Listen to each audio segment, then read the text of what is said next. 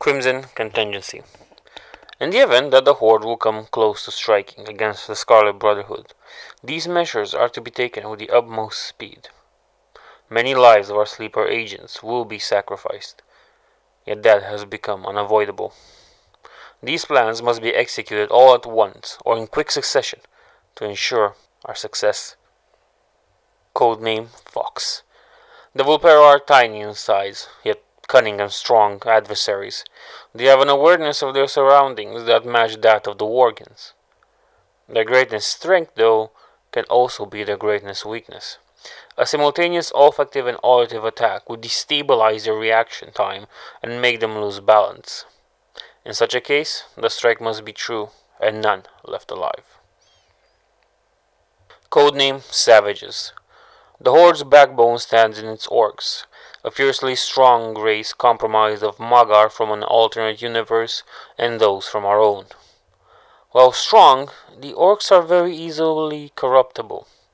Poisoning their food and water with demon blood will boost their savagery and bloodlust, but it will also turn them to fight each other.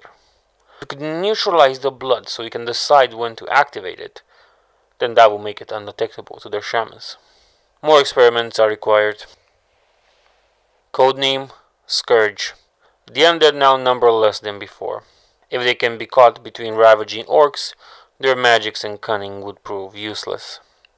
In case they somehow manage to avoid slaughter by orcs, then exposure to their own chemicals would be recommended.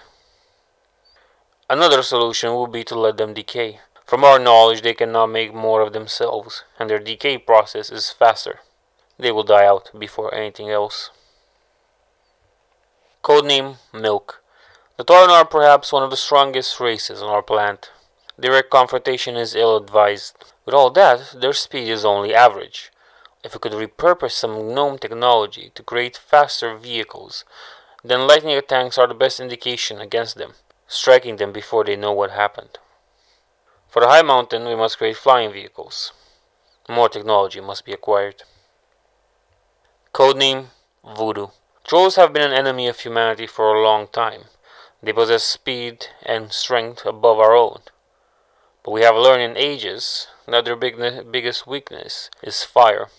While they do possess regenerative abilities, those mean nothing in front of blazing infernos.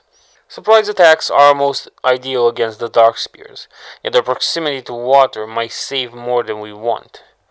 The Zandalari also suffer from the same boon.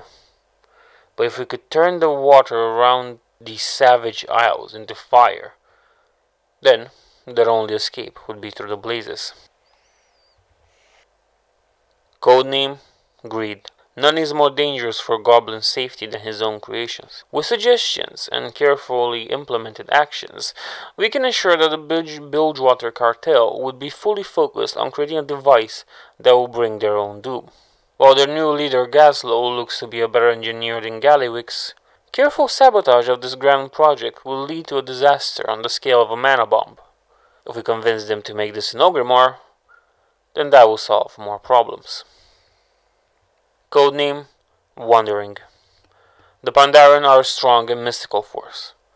The controlled demon orcs could slaughter them at the same time with the undead, yet their chances of survival might be higher than the undead. As strong as they are, the Pandaren of the Horde are driven by emotions more than anything else. Careful implementation of doomsayers and desperation into their ranks will turn them passive to an extent. Yet the best solution we theorize is to give them an opponent that will keep them in a constant state of battle. A strong illusion could do the trick. Codename Traitors. The Blood Elves are formidable foes, even if traitors. The best plan of action would be to corrupt their sunwell for long enough until they all wither away. Thus, a sacrifice force must be created that could hold the well until the Blood Elves are all lost. Another problematic aspect is how much corruption will it take. A few void elves and demons sacrificed into the well should be enough to turn them to madness faster than the actions of the butcher archers. We must experiment more with Project Sundering. Codename Red Knight. The Nightborne are, as strong as the Night Elves of the Alliance, and as addicted to magic as the Blood Elves of the Horde. At the moment, they are trying to distance themselves from the powers of their Nightwell Yet there are still those who want to use it. A little push can start another civil war in their midst. Add that magical sabotage that will ensure their magical portal malfunctions. Well, we could in theory cut them off from the rest of the Horde. In the event that such actions need to be taken, consider a careful approach and the proper time to implement them.